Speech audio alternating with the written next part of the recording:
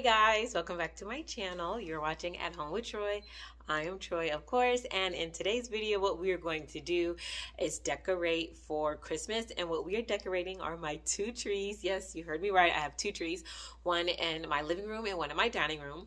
We'll be decorating those trees, and we will be getting up all the Christmas decor in my main living area, the living room, and my dining room. My home has an open concept type of layout, so yeah, we're gonna get that uh, decorated today. And as you can tell from uh, the uniform on in most of my videos videos that I have already done for decorating. We're going to do it in the buffalo check theme. So you guys, I hope you're here for a ton of motivation for the holidays, for some ideas, and some just a couple of really simple hacks that I use when I decorate. But before I get too far in the video, I want to let you guys know that this is a collaboration with one of another decorating addict, especially for the holidays, Alicia from Alicia B Styles. So, you guys, I want you all to know that Alicia has the most amazing content over on her page. She is a decorating addict like myself, and her fall, her Christmas, her Halloween decor is always a showstopper. She is also a business owner and runs a shop called Creatively Hers, and you guys should definitely check her out when you're done with this video. So, you guys, now that we've got introductions out of the way, we've got all that fluff done, let's get down to decorating these Christmas trees.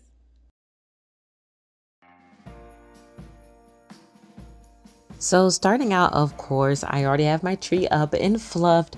And if I can give you any tip, it would be to fluff your tree as much as you possibly can.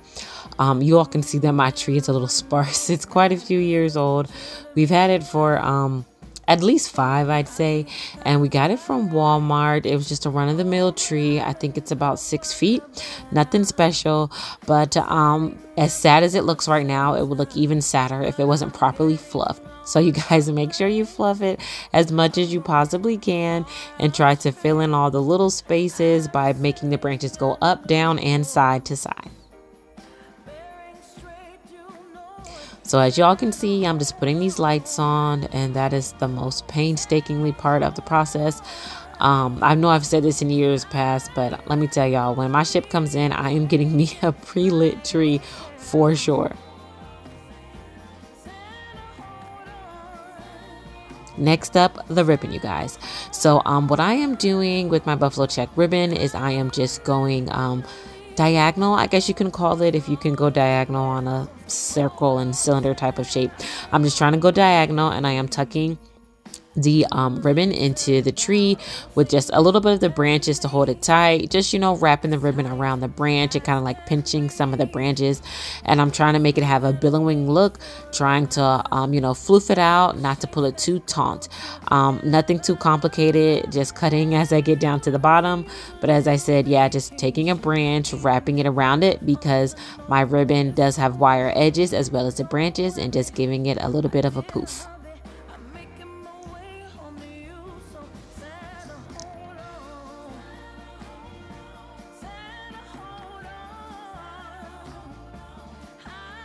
Next up, you guys, it's going to be putting on the ornaments.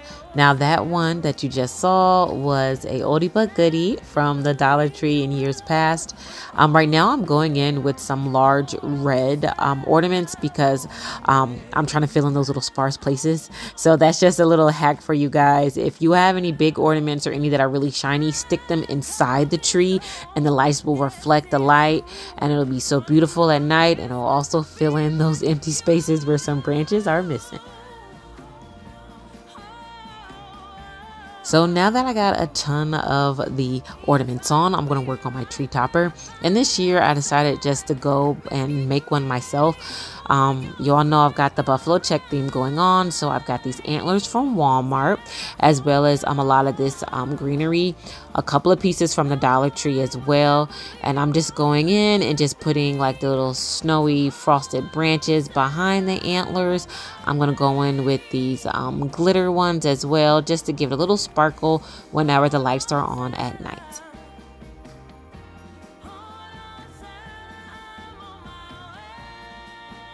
So, in case you guys were wondering, I am not um, sentimental, I guess, when it comes to my Christmas tree. I like it to look a certain way.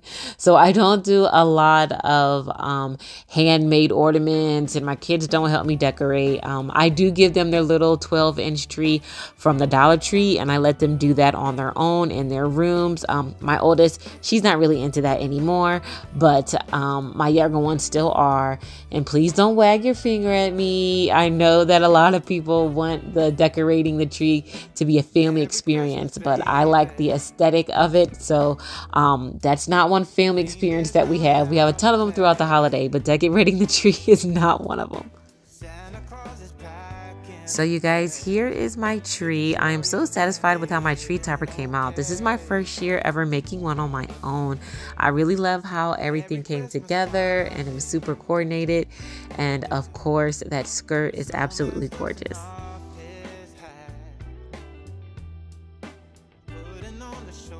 So you guys, on to decorating the living room. I put a few floor arrangements in my lanterns. That's not how I'll end up that's not where I'll end up leaving them. But for now, when I was just, you know, moving things around, I thought that it would look good there. I'm hanging up my DIY garland. And um, just as a suggestion, you guys, please invest in command strips this season for all of your decorating that's going to be on your walls because you will be so happy that you didn't damage it by putting holes in it, having to sand it, plaster it later. Um, command strips do add up if you have quite a few decorations, but just look at it as an investment. You'll be using those command strips over and over again throughout the years.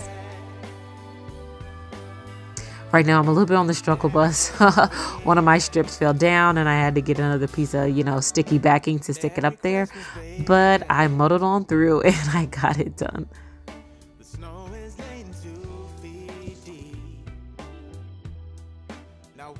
Upon a falling star so all your secret dreams can come true. So this is a rough part of decorating and by rough I just mean, you know, I'm a little bit indecisive about where I want things, just trying to position it where I think it looks good, maybe moving some different frames that I think will go better with the Christmas aesthetic.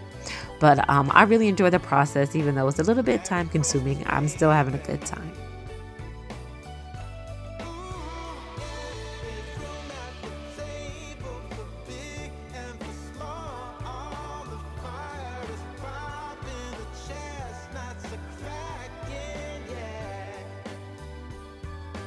So you guys, I decided to move the floor arrangements over here on the bookshelf and I really liked how it turned out. I just think it balanced the shelves better.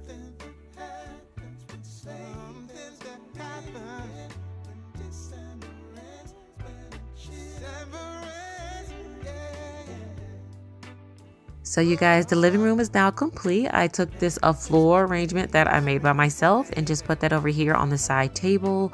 The garland is up and my liquor cabinet is decorated exactly how I like it.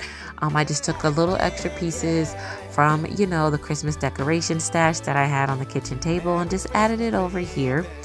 And um, you guys, I can't wait till this evening to burn this candle. It's going to smell so good and so Christmassy.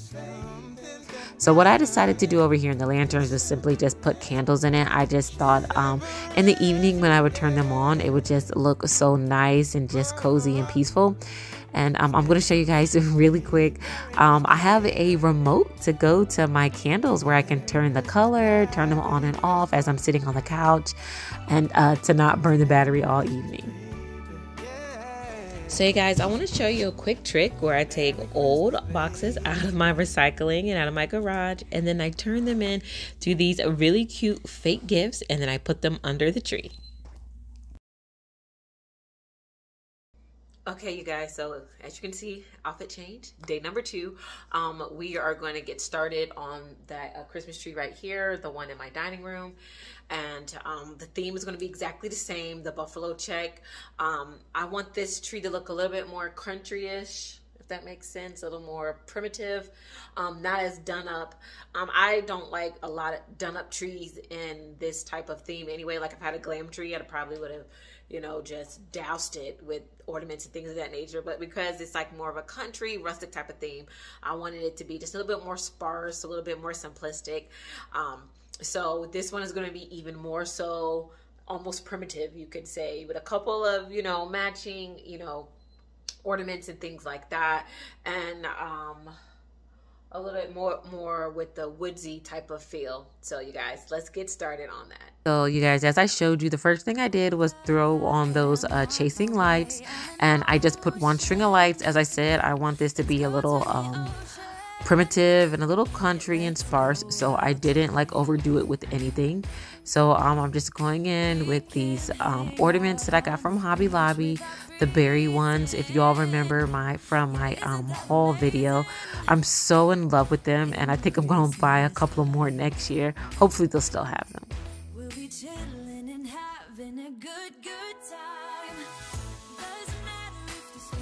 so you guys, um, even though it's the second day of my decorating, I love to do it when my children are not home. Now that is always a tradition that I do because I love seeing their face when they walk in the door of all the Christmas decor, whether um, it's in the kitchen, wherever I start for that year, or the entryway. I just love seeing them be like, "Oh wow," you know it's all done up, mom. You're like you finished it and things like that. So um, I'm really excited to see when I was decorating to see what they were going to say when they came home. And um, of course, the kids loved it, but my youngest, he was so funny. We have a really large picture of Santa hanging right here in the dining room. And he was like, Mom, Santa's looking at me. It was the cutest little thing.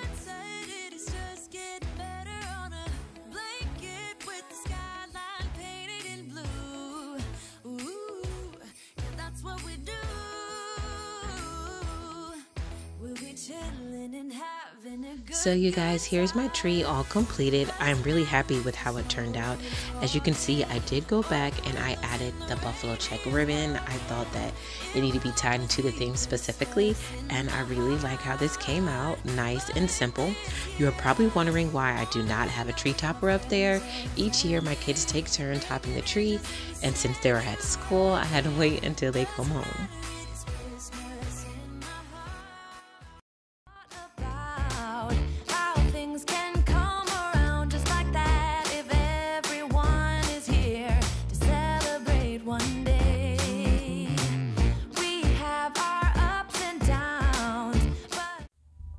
So, you guys, after that much needed break to lift my spirits, I decided to jump right back into it. And I'm putting this uh, table runner down. And I've had it for quite a few years now. And it's, you know, the perfect pattern for this year's theme. I'm going to sit down and do this really, really simple DIY.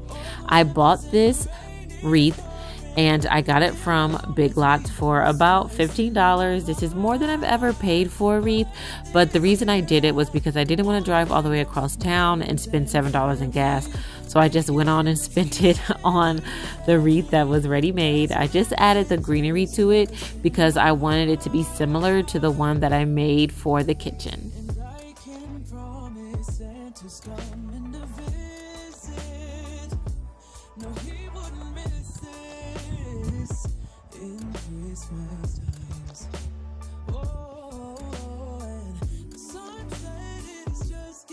So on to the next very quick DIY are my kiddo stocking tags. So um, I got these metal tags from the Dollar Tree and they come two to a pack. And um, I also got this white chalk marker from them as well. And I'm just writing the kid's name on it super simple, nothing too fancy, just giving it a little extra flair um, as far as the font. I saw it, you know, online and decided to copy it. And these are going to be the kids' stocking tags this year. Super simple.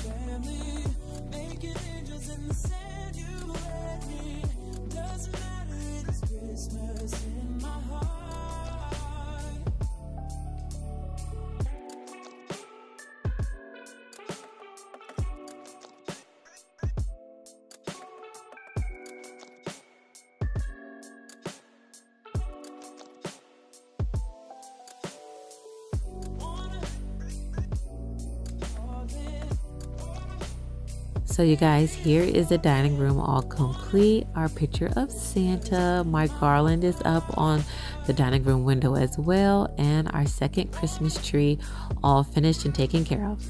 Now, I want to show you guys this scent. It's called Christmas Morning. And I picked this up from Big Lots.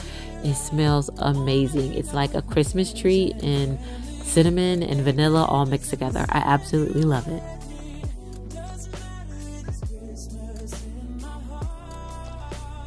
So if you've made it to the end of my video, I want to thank you guys so much. I really appreciate you. If you are coming from Alicia's channel, thank you so much. Please hit that subscribe button before you go. I hope that I gave you guys a lot of inspiration for this upcoming season and maybe for next year's as well. If you are one of my subscribers, please definitely go over to Alicia and show her some love. I hope to see you on the next one. Bye.